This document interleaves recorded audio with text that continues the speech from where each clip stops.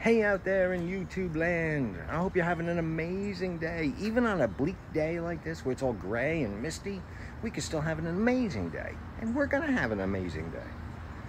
I've made about 400 videos. 90% of those, about 350 of those 400 videos have been based on my experience with real estate investing.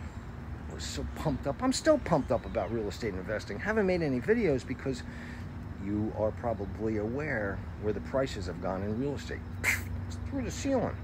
Matter of fact, we took advantage. What do they say? If you can't beat them, join them. We sold one of the houses in Union Beach for quite a bit more than we ever thought we can get for the for the property.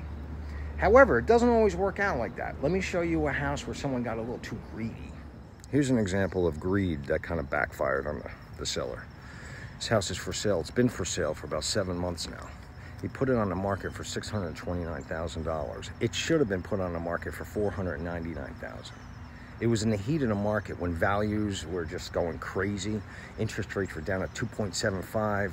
You would get multiple offers on a house and, and get a lot more than what you thought you could even get. Well, he put it on so high that there was no interest in the property. Now it's down to 579,000 and I can't remember the last time someone came over to take a look at the house. If he would have put it on for $499,000, he probably would have got multiple offers and sold it within a week or two. Probably at 550, 575. And now here it is seven or eight months later, sitting vacant. I know a little bit about the house because I actually had the offer accepted on that house for 300,000. That's how much he bought it for, 300,000. But we bought the Keansburg property at the same time. These guys took their time with the paperwork, so I backed out.